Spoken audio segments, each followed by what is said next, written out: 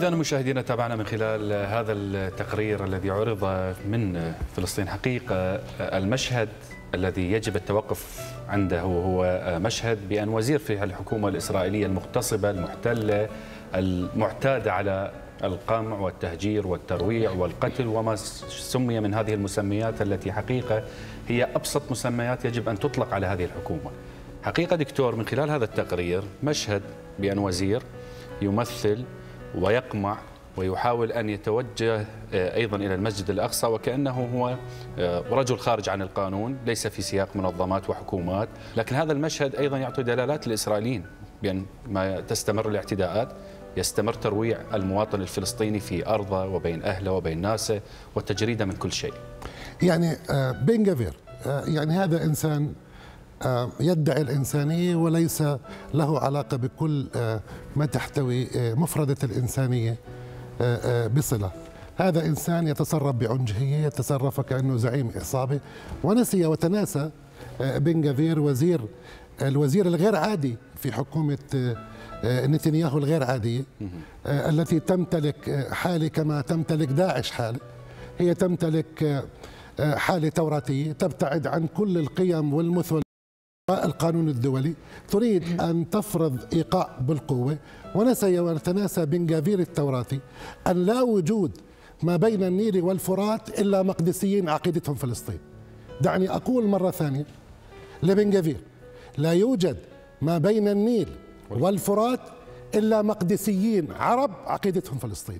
ما في كلام ولا جدال القصة الثانية اللي نريد من خلال هذا الشعب العظيم الفلسطيني المرابط فوق تراب القدس وفوق أهلنا في القدس اللي بيمثل ليس فقط أهل بيت المقدس الذي أنا بعيد بأكد ما بين النيل والفرات لا يوجد إلا مقدسيين تاريخا وعقيدتهم فلسطين إذا كانت الديانات السماوية الثلاث من الله سبحانه وتعالى يهودية ومسيحية وإسلام فهنالك عقيدة دنيوية قيمتها العدالة بشكلها فلسطين. إحنا بنتحدث عن هذه الحالة وعن هذه القيم وعن هذه المفردة ردا على التوراتيين. نحن ننبذ العنف بكل أشكاله وألوانه وقيمه لكن ما يقوم فيه هذا الوزير خارج عن المألوف خارج عن السياق منبوذ من كل الأوساط حتى الأوساط الأمريكية. وأنا بعرف ما ما تحدث فيه ويليام بيرنز يعني رئيس الاستخبارات الأمريكية عندما التقى نتنياهو قال له ثلاث ما بدي أشوفهم ولا أحكي معهم. أهم واحد فيهم بن غفير وسموتريتش ومعوز. إذا إحنا بنتحدث عن حالة توراتية الشعب الإسرائيلي رفضها. يعني دعنا نقول أنه الشعب الفلسطيني الإسرائيلي رفضها. بالأمس كان لدينا 120 ألف في تل أبيب يقول لهذه الحكومة أنت فاشية وأنت عنصرية ولماذا هذه الاقتحامات ضد المدنيين الفلسطينيين تفتحيش علينا باب دبابير وعش دبابير؟ نعم. وخلينا نحكي بكل وضوح وبكل تجلي.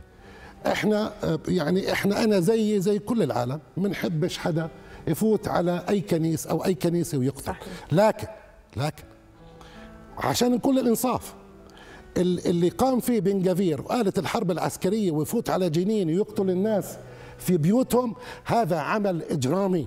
رقم اثنين الرد أجى بعد 48 ساعة. 48. وأنا بقول إنه لولا الرد على الأرض لما كانت الأمور اختلطت. وأنا بتحدث بحال لسان مقدسي. مرة ثانية لا يوجد بين ال... ب- ما بين النيل والفرات. والفرات إلا الأربعة هذول المقدسيين. نعم.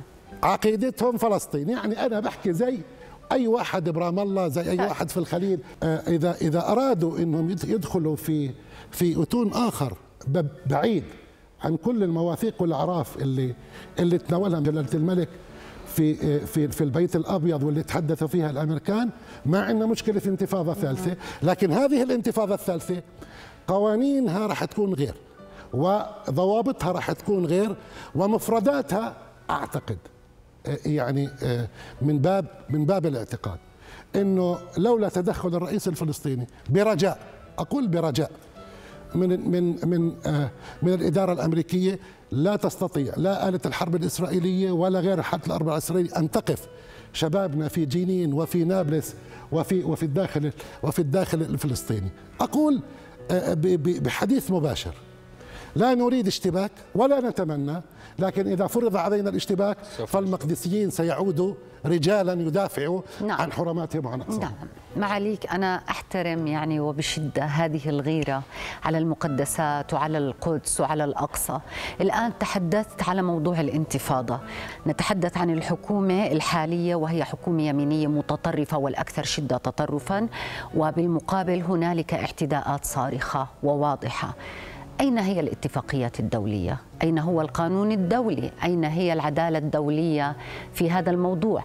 الاتفاقيات الدولية التي ضمنت للإسرائيل للإخوة الفلسطينيين بأن تكون القدس الشرقية عاصمة لهم القانون الدولي كله معنى يعني آه، أنا بذكركم أنه آه، الأردن اشتبك آه، قانونيا أيام حكومة أيام ما كان عون الخصاونة عندنا في في لاهاي واستطعنا أن نؤكد على هذا الثابت أن أن ثابت الأرض هي أراضي. احتلت عام 67 وهذا باعتراف المحكمة رقم اثنين كل القوانين التي جاءت بهذا السياق وآخرها لما كانت حكومة أو لما كانت إدارة الرئيس السابق أوباما وكان جو بايدن نائب الرئيس هو قرار 2 3 3 4 جاء ليؤكد أنه حتى الاستيطان غير شرعي الجغرافيا السياسية اللي نتحدث عليها هي حدود الرابع من حزيران عام 67 آه، حتى الحيط اللي حطه شارون هو حائط غير شرعي وبالتالي كل القانون والأعراف والمواثيق الدولية هي دائما ذهبت باتجاه يعني الشعب الفلسطيني والقضية المركزية لهذه الأمة. لكن كيف بدنا ننفذها؟ قانونيا نقدرش نستخدم إلا البند السابع في, في القانون نعم. الدولي. إذا استطعنا إنه نأخذ البند السابق هون نتحدث عن قوات دولية. وهنا ان الأوان أن نشارك نشارك الدبلوماسية الفلسطينية الرائدة اللي برأسها فخامة الرئيس أبو مازن بيقوم بدور كثير استثنائي بهذا الجانب. طبعا سنوانه متلازمان لعملة آه، بأكد فيها دائما على ثابت جلالة الملك صاحب الولاية الهاشمية الرئيس المصري عبد الفتاح السيسي السيسي قاعد بقوم بدور استثنائي. ورئيس الوزراء السوداني أيضا من العراق قاعدين بيتحدثوا بحال لسان آه، قوي داعم حاضنة نعم. لاجل لأجل هذا الشعب. رقم أربعة. طب إحنا بدنا يعني نخلي هذا الشعب يظل صامت؟ بدنا إياه يظل واقف؟ طيب معناش نعطيه عتاد طب نعطيه مصاري نعطيه اموال يعني أنا كنت أتمنى وبضم صوتي لصوت الكل اللي بينادي بهذا الكلام. إذا إذا الاسرائيلي قاعدين بيقولوا كل ما تحركوا الشاب الفلسطيني والشعب الفلسطيني خطوة باتجاه نضال وباتجاه بطولات وقفوا عنهم يعني الفلوس ووقفوا عنهم. فلوسهم اللي بتيجيهم أصلا صحيح. من خلال الجمارك. لابد إن يكون هنالك حاضنه عربيه تسند هذا الشعب بنظاماته. دعم هناك دعم حقيقي. وأيضا تسند بيت المقدس. أكيد. طبعا. طيب أنا عايزة أرجع لكلام حضرتك اللي ذكرته وقلت بأن هذه الانتهاكات الغوغائية في المسجد الأقصى هذه الانت... قد يعني تخرج إلى ونحن في انتفاضة ثالثة. وربما داخل الانتفاضه الثالثه هناك أيضا يعني أشياء كثيرة يعني كشروط زي ما قلت. إسرائيل في هذه اللحظة بدأت تلوح ببعض الأشياء وتمس أشياء من المحرمات سياسيا وهي الوصاية الهاشمية على المقدسات آه، في في فلسطين وعلى القدس. السؤال هنا ماذا نفعل؟ كيف تنظرون إليها؟ ما هو دورنا نحن كعرب تجاه ما يحدث الآن وتجاه هذا التلويح الخبيث من إسرائيل تجاه الوصاية الهاشمية على القدس قصة الوصاية هي ليست قصة جديدة لكن الشعب الفلسطيني قال كلمته. الوصاية لجلالة الملك عبد الله الثاني. البيعة كانت له عام 2012 وانتهى هذا الموضوع. ويجب علينا إنه ما نضلنا نحكي فيه لأنه أصبح هذا الموضوع موضوع ليس فقط عربي ولا إسلامي. هذا ده بالنسبة دولي. لنا وأنا بتكلم على جيك جيك. التلويح. أيوه. هو أصبح هذا الموضوع أصبح دولي. حتى مرة ثانية. يعني البيان الختامي لجلالة الملك والرئيس بايدن أكدوا أيضا على هذا الثابت أن الوصاية الهاشمية هي خط أحمر لا يجوز لأحد أن يعيد إنتاج ما يسمى ستاتيكو اللي كان متفق عليه بعد انتهاء أو بعد انحسار الدولة العثمانية. خليني أحكي لك شغلة إنه بعد انحسار الدولة العثمانية أي بانتهاء الحرب العالمية الأولى اللي أخذ هذا الدور كانوا الهاشميين. يعني عشان هو تاريخ. تمام. وبالتالي إيش الاستاتيكو اللي كان موجود؟ الاستاتيكو كان موجود عليه هو أربع احياء حي الأرمن حي المسلمين حي المسيحية وحي اليهود. نعم. هدول هذا الاستاتيكو اللي كان موجود. عشان هيك الكل ممثل لكن الذي قام ببناء هذه الحاضنة التي تسمى استاتيكو 1845 كانوا العثمانيين. لما طلعوا العثمانيين وانحسروا وأصبحت دورهم وحضورهم مقصور في الأمة التركية ممنوع يدخلوا على الأمة العربية أو الناطقين بالعربية بموجب الاتفاقية انتهاء الحرب العالمية الأولى. أصبحت الوصاية من هنا تتبع للهاشميين بحكم هذا الدور التاريخي اللي طبعا الهاشميين ليسوا كانوا فقط هم يعني على القدس بل كانوا على القدس والحجاز يعني القدس ومكة. وبالتالي أنت تتحدث أن التاريخ أراد أن يعيد ذاته وأراد أن يسقط ذاته وهو الشيء اللي برهنه الشعب الفلسطيني عندما ذهب الرئيس الفلسطيني أبو مازن لأخيه جلالة الملك وأكد على هذه الوصاية سنة 2013 نعم. نعم.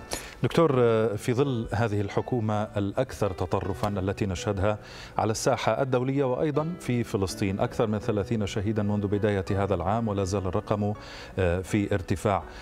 كيف يمكن لكل الجهود السياسية والدبلوماسية اليوم أن تحول لإبقاء العاصمة المحتلة وإبقاء القدس الشريف بمقدساته خارج دائرة الاستهداف آه، في ظل الجهود العربية المبذولة في هذا الإطار. هناك أربع, أربع قضايا بدنا ننتبه عليها. القضية الأولى أنه آه، قضية القانون الدولي.